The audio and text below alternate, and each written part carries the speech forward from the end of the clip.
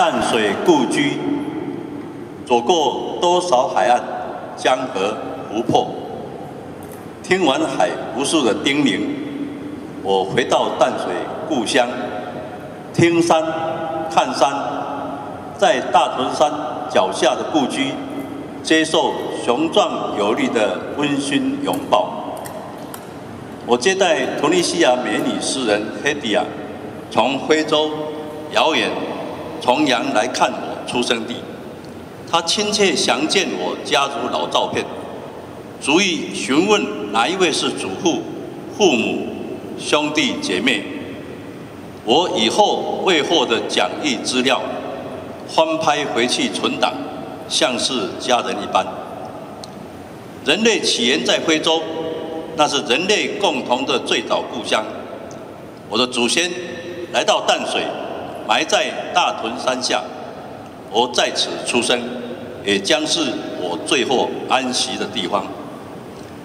黑迪亚羡慕我故居有绿色，怀抱里享有超俗的宁静，诗有无可丈量的廉洁魅力。台湾诗人朋友还不知道我的秘密基地。非洲美女诗人却抢先来探秘，我最后的住家已留在他的记忆。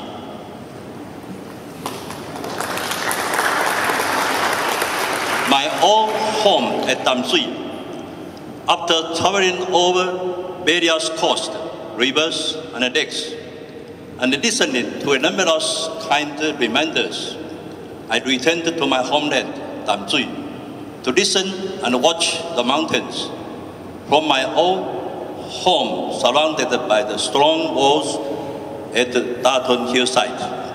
Accepting a powerful warm hug, I received Tunisia beauty poetess Hedia at home, far from Africa across the ocean, coming to visit my birthplace.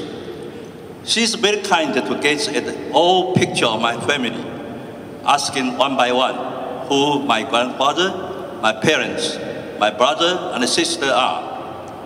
Information about their won and lost the prizes while remaking the photos for her while, just like a member of my family. Mankind originated from Africa.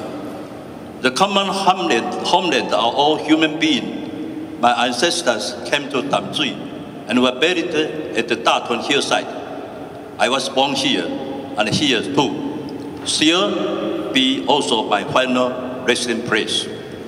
Poetess Gatian, uh, Hedian Gathom appreciated my old home, where an extraordinary peace still resides in the green embrace.